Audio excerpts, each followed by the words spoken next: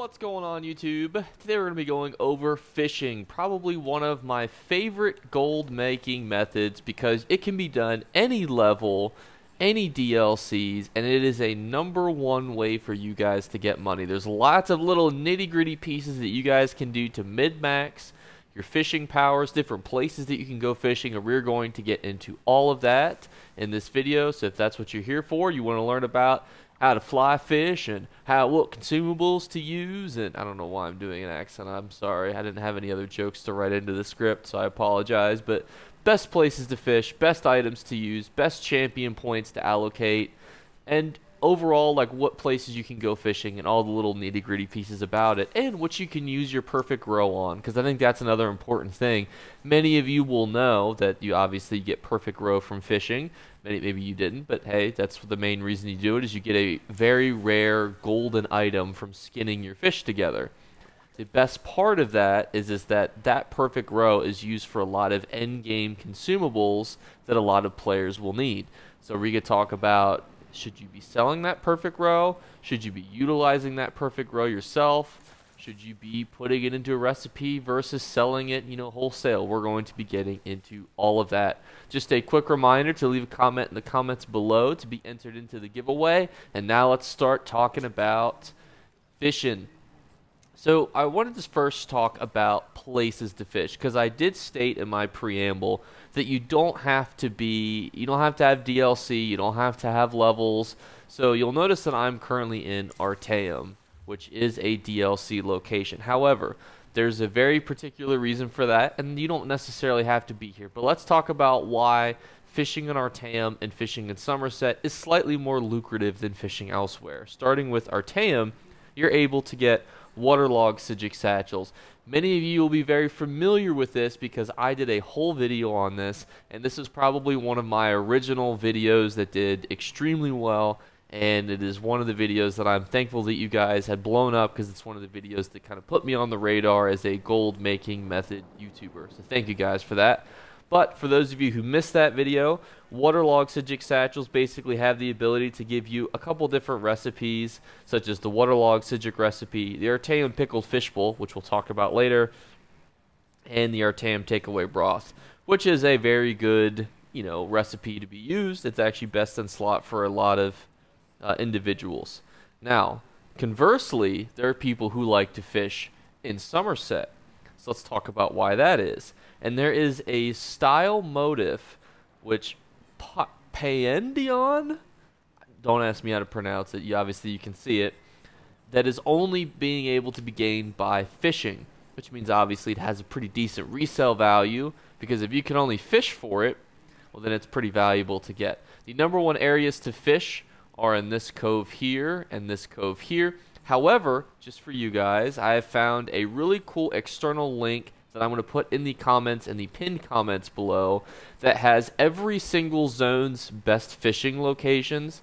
Because, as I said earlier, you know, there's a lot of different places for you guys to go, and not all you guys have these DLCs. So, if you do not have a DLC and you're like, man, I really want to fish, I want some easy gold that I don't have to level up for, because a lot of methods require you to be CPU 160 which is kind of, you know, it's kind of bullshit, you know. I want you guys to get gold right meow, even if you are 160 or if you're not 160. And let's say you don't have any DLCs. Well, the easy solution to not having DLCs are these islands. Why islands are so good is basically they're small. Betnikh especially, Betnikh also has significantly less um, spawns on the beaches that will attempt to attack you which you may be noticing that there's nothing here in Artaeum, which is why it's one of my favorite spots. Is nothing's here to interrupt my, you know, good old fishing trip. So you've got all of this location that you guys can go fish. Again, the add-on will be it's an add-on and it's a map. So if you're an at PC player, you can download this add-on and it will physically put the actual fishing holes on your map. And if you're not, then it will basically like it'll say like, hey, like bing, bang, bang, bang, bang, bang, bang. Here's where all the fishing spots are. Go check these locations.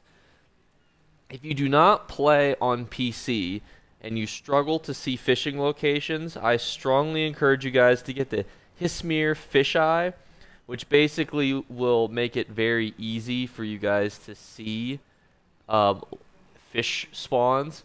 Now, I'm not currently using that, and that's going to be the second other suggestion that I have for you guys that we'll talk about in just one second. Why I suggest this, though, to start off, is, is that you guys might be very new uh, to finding, you know, fishing holes, and it can be a little daunting to see. You can see, like, right here in front of me. Let's say we were looking away. You know, this is this is can be a little hard to see. Just that little like blip in the water can be very hard to spot. But obviously, I fished here so much, I know that I could just go here. Now, I am currently using the Artaeum Pickled Fish Bowl, which basically gives me a higher chance to get rarer fish. Now, rarer fish are an interesting kind of mechanic because they can be quick sold for gold, but they can't be turned into perfect roe. So you do get a good chunk of gold for them, but you do not have a chance to get perfect roe. So don't think that you need to use the Artaeum Pickled Fishbowl. It will grant you more, you know, fish per hour, but it's not going to grant you, you know, you're not. It, it's not going to make a huge difference. Because keep in mind too, these pickled fish bowls cost clam gall to make, so these things are pretty expensive. You know, it's not like you get these for free. So if you're not making your value back, you know, every two hours that you're using these, you know, I encourage you guys to consider, you know, do I really need this? Same with the Hismir Eye. Once you know where all the spawns are, it's not going to be like, a, oh, I need, you know, to go out and use these, you know, every single time. It's more so like get an idea, like if you're using a specific island, if you're on Artaeum, if you're on Summerset, get a really good grasp of like where your spawns are based on where you are, and then go from there. Another thing too to quickly point out before we get into the champion points is, is that each one, like if you are saltwater fishing, saltwater bait, if you're lake fishing, lake bait, etc., etc., all of the bait is pretty cheap. You can purchase it, you can farm it. I really wouldn't worry about bait costs. For those of you guys who are new to fishing, if you have questions about bait, you can always ask me in the comments below. But it's really not anything super crazy. It's more so just very straightforward. And if you've been playing ESO and killing undead and picking up things, like you probably have tons of bait. But if you don't, again, you can go purchase it in somewhere like Mournhold, Vivec, Wayrest, Eldenroot for super cheap. So don't don't stress about that. Let's talk about champion points now, because champion points are pretty simple. So the two best things that I really suggest for you guys are reel techniques and angler's instincts. Now, angler's instincts really doesn't make a whole lot of difference because again we're going for that perfect roe, not this like oh you know i really want to get blue and purple fish because yeah like getting the you know a couple hundred gold to resell is kind of neat but it's not helpful. And this also points out another really interesting tactic is that if you're grouped with other people in the same fishing hole you will have a higher chance to gain higher quality fish.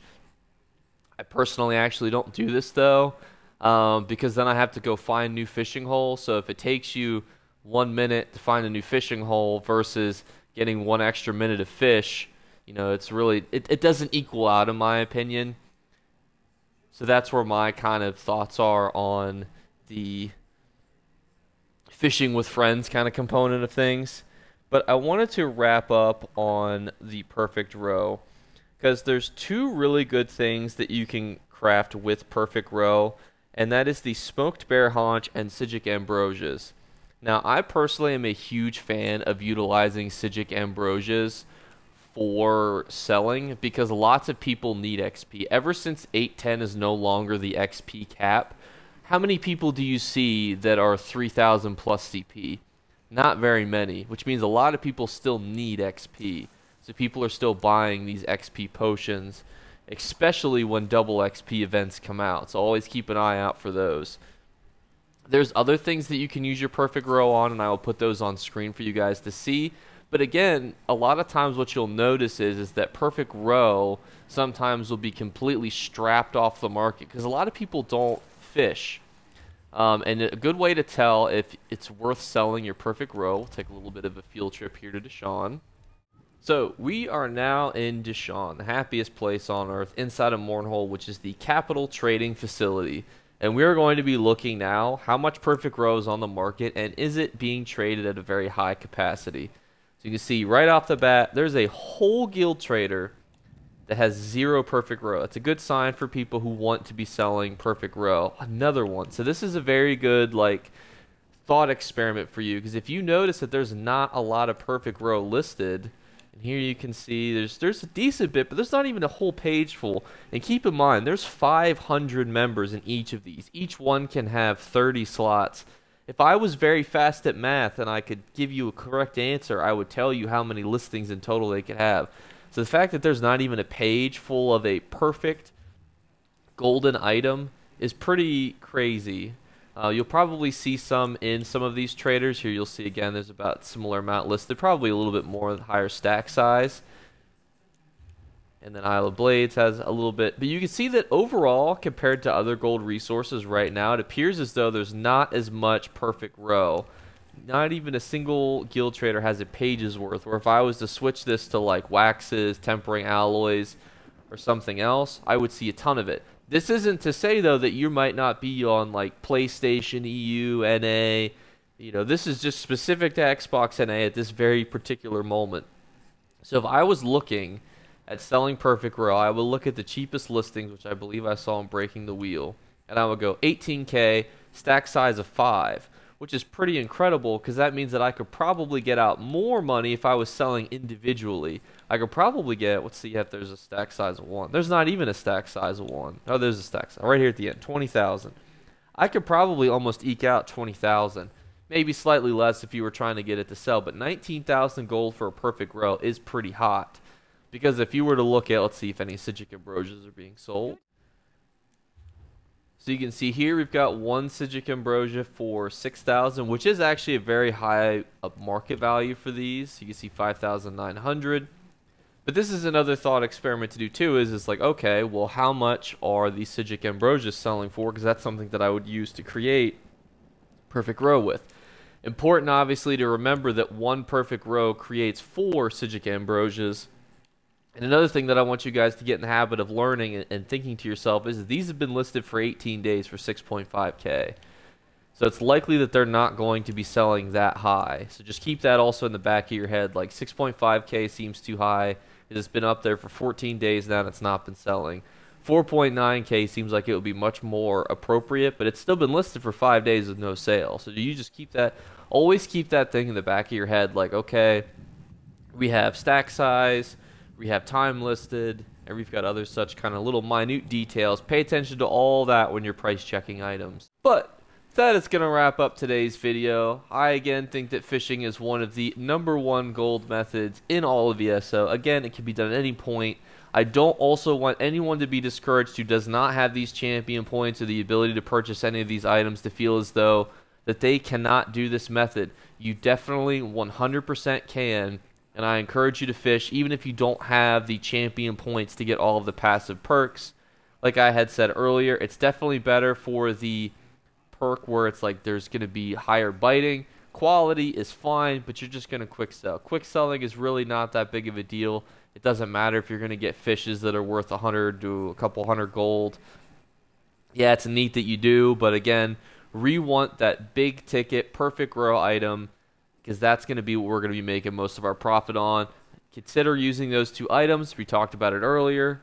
You'll obviously be able to know like which one suits you better. If you really want to go for those items, if you need help seeing those, you know, spots. We talked about the champion point allocation, and we talked about selling perfect roe, and if you should be refining it into other types of resources. We talked about all that that's going to wrap up today's video, and I'll catch you guys tomorrow. Bye, guys. You better remember to like and subscribe to Jake Clips. Or you should. I might have to pluck your eyes if you don't. Or, better yet, I'll skip rope with your entrails. Do it now. Subscribe. Ta-ta. Off with you.